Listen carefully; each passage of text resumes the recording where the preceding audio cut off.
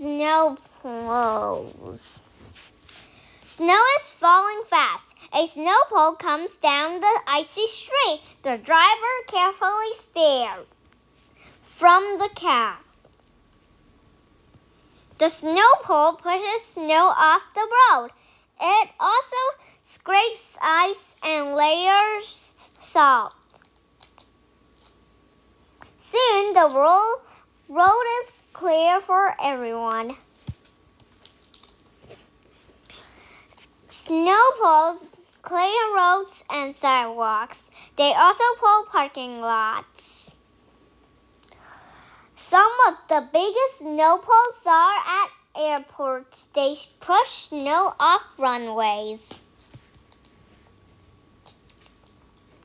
Snowplows have many different body types. They can be picked up trucks for, or four wheelers.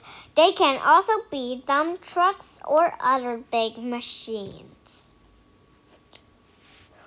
Snowplow blades come in different shapes. Straight blades push snow forward or off to one side.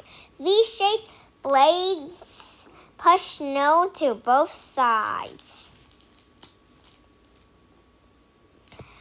Some snowplows have blades that scoop. These can lift and move snow. Snowplows may have side blades called wings. These move even more slow.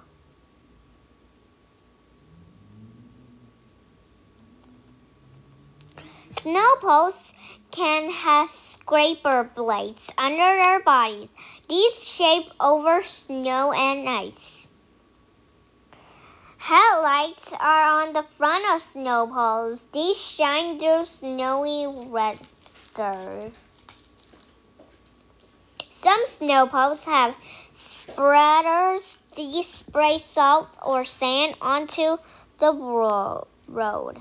The salt helps melt the ice. The sand makes the road less slippery. Snow Snowplows make roads and neighborhoods safer in winter. Without snow snowplows, winter travel would be much harder.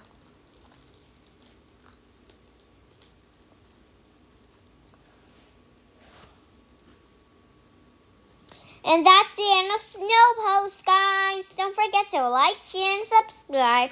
Turn the notification bell, and I will see you next time. Bye.